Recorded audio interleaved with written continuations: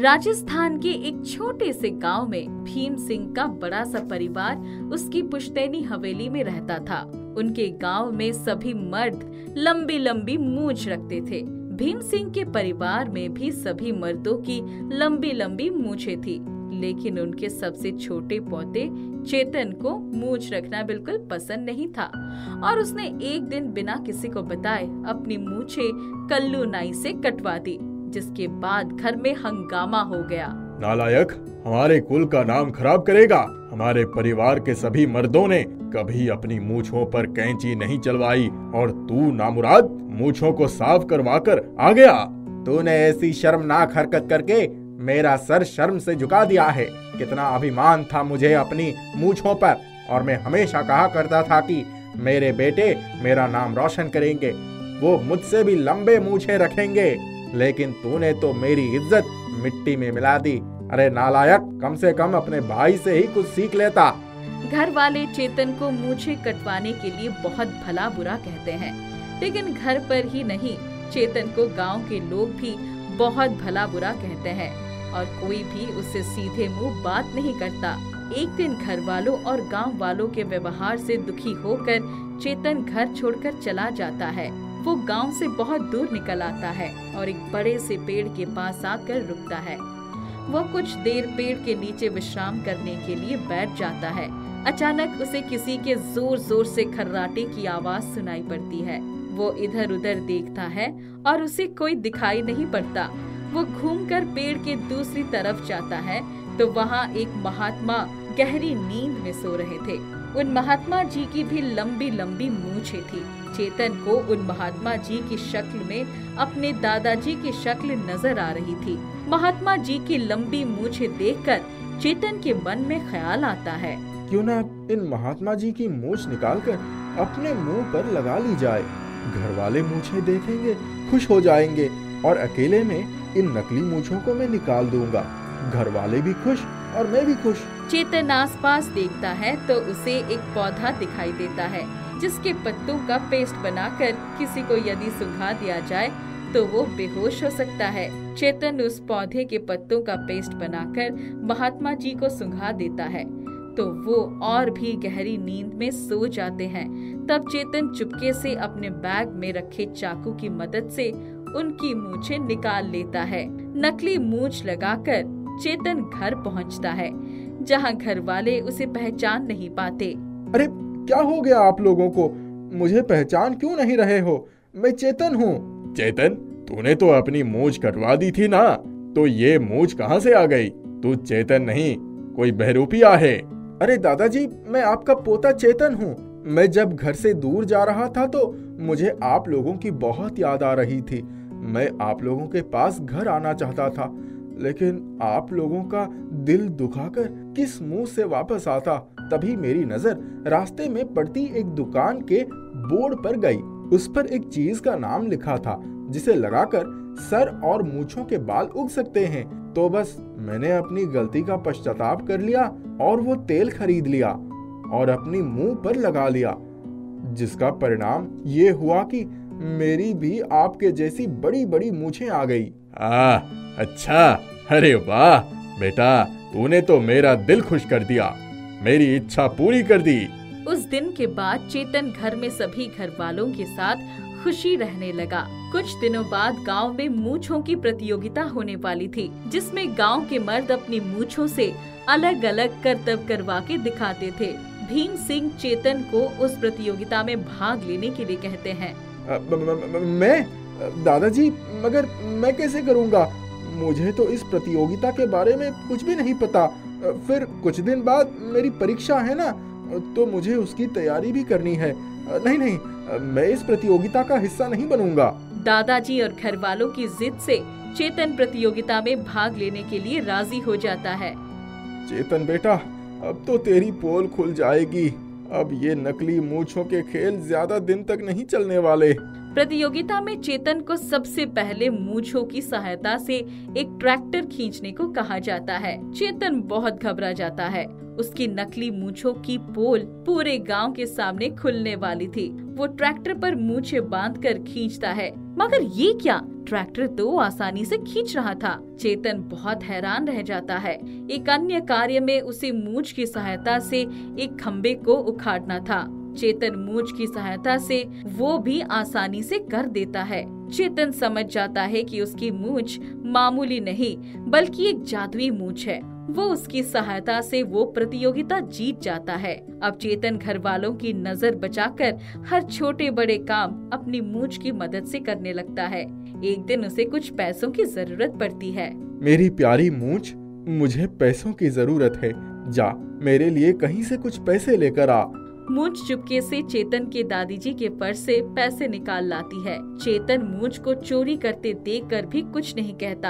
अब वो मूछ से इसी तरह से काम कराने लगता है। एक दिन चेतन मूछ को एक दुकान से एक जूस की बोतल चुराने को कहता है, क्योंकि उसे बहुत प्यास लगी थी और उसके पास उस समय जूस के लिए पैसे नहीं थे। मूछ को बोतल चुराते हुए तो कोई नहीं देख पाता, लेकिन चेतन के हाथ में अपनी दुकान की बोतल देखकर दुकानदार उससे पैसे माँगता है। लेकिन मैं तुम्हें पैसे क्यों दूँ? मैंने तो तुमसे जूस लिया ही नहीं। एक तो चोरी करता है ऊपर से ज़ुबान लड़ाता है। दुकानदार अपनी दुकान पर काम करने वाले लड़कों से चेतन की पिटाई करवाता है। चेतन को बहुत गुस्सा आता है लेकिन वो कुछ नहीं कर पाता। मूछ को ये सब करके बहुत मज़ा आता है। अब मूछ इसी तरह चेतन को परेशान करने लगती है। एक दिन चेतन बाज़ार जाता है तो वहाँ गरम गरम समोसों की खुशबू से उसका समोसे खाने का मन करता है। तो वो मूद से उसके लिए समोसे लाने को कहता है। मूद समोसे लाती है और गरम गरम समोसा चेतन के हाथ में रख देती है। चेतन का हाथ जल जाता है तो वो चिल्लाने लगता है। मुझको इसमें बहुत मज़ा आता है। अब मूछ इसी तरह चेतन को बहुत परेशान करने लगती है। चेतन मूछ को काटने की सोचता है। लेकिन ये क्या? जैसे ही वो मूछ काटने के लिए कैंची उठाता है, कैंची उसके हाथ से दूर जा गिरती है। फिर मूछ वो कैंची उठाकर, चेतन के सारे के सारे बाल काट कर उसको गंजा कर देती है। अब चेतन बहुत परेशान हो जाता है और उस मूछ से छुटकारा पाना चाहता है। वो उन महात्मा जी को ढूँढने जाता है, जिनकी वो मूछ थी। उसे एक जगह वो मिल जाते हैं। महात्मा जी, कृपया मेरी मदद कीजिए। मुझे उस मूछों से छुटकारा दिलवाइए। मूछ से छुटकारा? बच्चा मैं एक साधु हूँ। कोई नाई नहीं जो तुम्हारी मूछे काटूँगा। जाओ यहाँ से। महात्मा जी पहले मेरी पूरी बात तो सुन लीजिए। चेतन महात्मा जी को उनकी मूछ काटने की पूरी कहानी सुनाता है। हो तो तुम हो वो दुष्ट जिसने मेरी प्यारी मूछों को मुझसे अलग किया था। बहुत शौक था ना तुम्हें दूसरों की मूछें काटने का। अब भुगतो। अब ज़िंदगी भर के लिए झेलो इन मूछों को। महात्मा जी मुझे क्षमा कर दीजिए। मुझसे बहुत बड़ी भूल हो गई। मैंने बहुत बड़ा पाप किया है। मुझे क्षमा कर दीजिए। कृपया मुझे इन मूछों से छुटकारा दिलवा दीजिए। महात्मा जी को चेतन पर दया आ जाती है। देखो बेटा इस मूछ को तो अब मैं वापस नहीं ले सकता। लेकिन हाँ मैं इसके प्रभाव को ज़रूर बदल सकता हूँ। तुम्हें मुझसे वादा करना होगा कि अब तुम इन मूछों का दुरुपयोग नहीं करोगे। इनकी सहायता से दूसरों की मदद करोगे। मैं वादा करता हूँ महात्मा जी। महात्मा जी मूछों को अपने हाथ में लेकर आँखें बंद कर कुछ मंत्र पढ़ते हैं। इसके बाद चेतन वापस घर आ जाता है और उसके घर पहुँचने तक उसके सर के बाल भी वापस आ जाते हैं। उसके बाद से चेतन मूछों की सहायता से हमेशा दूसरों की मदद करता है। मीनू और उसकी माँ पार्वती बहुत गरीबी का जीवन बिता रहे थे। माँ बड़ी बड़ी इमारतों में ईटे गारे ढोने का काम करती थी। कुछ दिनों पहले ही वह गिर पड़ी और उनके पैरों में मोच आ गई। घर में जो कुछ था, खत्म हो चुका था। माँ, आज हम क्या खाएँगे? उसकी माँ लंगड़ाते हुए उठी और आटे का बर्तन झाड़कर मीनू को दिया। उसने चार रोटियाँ बनाई। जैसे ही खाने बैठी तभी एक फकीर की आवाज़ आई। कुछ खाने को दे दो बहुत भूखा हूँ। माँ फकीर को क्या दूँ? मेरी दो रोटी ले जाकर दे दो और तुम अपनी दो रोटियाँ खा लो। मीनू ने दो रोटियाँ अचार के साथ फकीर को ले जाकर दे दी। फकीर ने रोटियाँ खा ली और बोला बच्चा तेरा भंडार भरा रहे। बाबा ये आखिरी रोटियाँ थी। भंडार कहाँ से भरा रहेगा? अरे बेटी तेरे बिछौने के नीचे एक पर्स पड़ा है। उसमें पैसे भरे हैं। क्यों परेशान हो रही है? बाबा आप यहीं रुकना मैं अभी आई। मीनू भागकर बिछौने के नीचे देखती है तो वहाँ वाकई में एक पर्स नोटों की गड्डी से भरा रहता है। बाबा ने सच कहा था माँ ये देखो। क्या है? क्यों इतना चिल्ला रही हो मीनू? मीनू भागकर बाहर जाती है तो बाबा जा चुके थे। माँ बाबा को कैसे पता कि हमारे बिछौने के नीचे एक पर्स पैसों से भरा पड़ा है? पता नहीं बेटी ये तो हमें भी नहीं पता। चल पैसे गिन कर देख। माँ इसमें तो पूरे दो हज़ार रूपए है। तो जा बाज़ार से जाकर आटा दाल चावल आलू प्याज और एक सब्ज़ी लेकर आ जा। भरपेट खाना खाएँगे। भला हो इस फकीर बाबा का। मीनू बाज़ार से सारा सामान खरीद कर ले आती है। फिर माँ की दर्द की गोलियाँ खरीदने के लिए पर्स खोलती है तो हैरान हो जाती है। उसमें दो हज़ार रूपए अभी भी रखे थे। माँ, मैंने कितना सामान खरीद लिया, फिर भी ये पैसे जस के तस रखे हैं। क्या कह रही है तू? ला मुझे दे पर्स। वो खुद पैसे गिनने लगती है। फिर कहती है अच्छा चल, मेरी सहायता कर, कुछ खाने को बना लेती हूँ। माँ मैं बना देती हूँ तू आराम कर। आज तो मैं बहुत खुश हूँ। हाँ आज मैं किसी अच्छे डॉक्टर के पास तुझे लेकर तेरा पैर भी दिखा देती हूँ। ये बहुत तकलीफ़ दे रहा है। मीनू खाना बनाती है। खाकर दोनों आराम करते हैं। फिर शाम को डॉक्टर के पास जाते हैं। ये पत्ता दस गोलियों का आएगा लेकिन दो चार गोलियाँ खाते ही पैर ठीक हो जाएगा। इंजेक्शन लगा देता हूँ थोड़ा जल्दी आराम आ जाएगा। कितनी फ़ीस हुई डॉक्टर साहब? डेढ़ सौ रूपए दे दो। मीनू ने पैसे निकाल कर दे दिए। उसके बाद दुकान से दवा भी ले ली और घर आकर पर्स खोला। माँ इसमें तो पूरे दो हज़ार रूपए अभी भी बचे हैं। चल बेटी हमारे साथ ये जादुई पर्स उसी फकीर के आशीर्वाद से आया है। हम भी इसके पैसे किसी नेक काम में ही लगाएँगे। हाँ माँ तू ठीक कह रही है। दोनों माँ बेटी घर आ गईं। सुबह जब मीनू सोकर उठी तो देखा माँ का पैर एक बार दवा खाते ही ठीक हो गया। वह ठीक से चल पा रही थी। माँ, तुझे नहीं लगता कि तेरे पैरों के ठीक होने के पीछे दवा का असर कम और पर्स का जादू अधिक है? हाँ मैं भी यही सोच रही हूँ। अभी वो दोनों बातें ही कर रही थी, तभी उसकी माँ ने कहा, मीनू, जरा पास की दुकान से दूध लेकर आ। खीर बनाते हैं। थोड़ा बादाम और किशमिश भी ले आना। पहले भोग लगाएँगे और फिर हम खाएँगे। मीनू ने पर्स से पैसे निकाले और दुकान की तरफ़ जाने लगी। जब वो दूध लेकर वापस आ रही थी, तब उसने देखा कि उसके घर के पास दो बच्चे खड़े होकर रो रहे थे। क्या हुआ? क्यों रो रहे हो तुम लोग? क्या चाहिए तुम्हें? दीदी, हमारी माँ हमें छोड़कर चली गई। हम कहाँ जाएँगे? समझ में नहीं आ रहा है। कहाँ गई तुम्हारी माँ? उसने कहा था कि तुम लोग यहीं बैठो। मैं अभी कुछ खाने पीने के लिए लेकर आती हूँ पर पूरी रात बीत गई। वो अभी तक नहीं आई। मीनू को उन बच्चों पर बहुत दया आई। उसने कहा क्या नाम है तुम्हारा? मेरा नाम भोलू है और इसका नाम गोलू है। अच्छा तुम लोग मेरे साथ आओ। दोनों को लेकर घर आई और अपनी माँ से बताया। बहुत अच्छा किया जो तुम इन बच्चों को घर ले आई वरना बच्चे चुराने वाले इनके हाथ पैर तोड़कर भीख मंगवाते। बोलू और गोलू तुम लोग पहले कुछ खा लो फिर हम तुम्हारी माँ को ढूँढने जाएँगे। मीनू और उसकी माँ ने खीर पूरी बनाई भगवान को भोग लगाया और फिर सबने खीर और पूरियाँ खूब मन से खाई।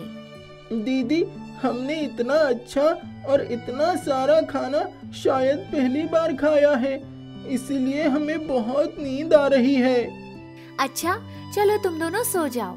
जब भोलू और गोलू सो गए मीनू एक काम करते हैं।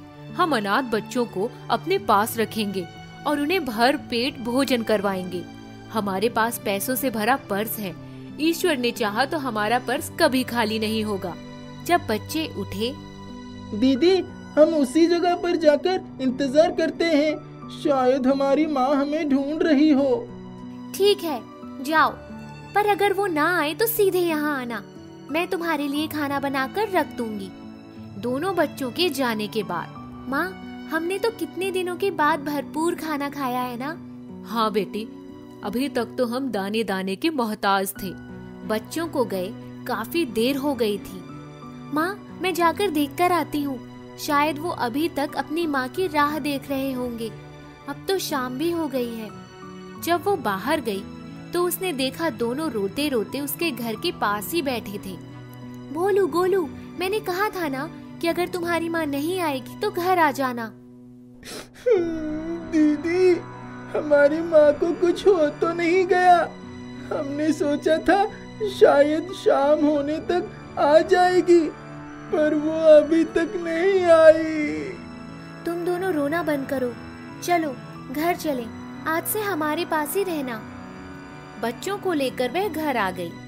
सबने खाना पीना खाया और सो गए। कुछ दिन बच्चे उदास रहे, पर थोड़े ही दिनों में मीनू और उसकी माँ से खूब हिल मिल गए। अब वो इसी घर को अपना घर समझने लगे। माँ, हम एक बड़ा सा घर ले लेते हैं।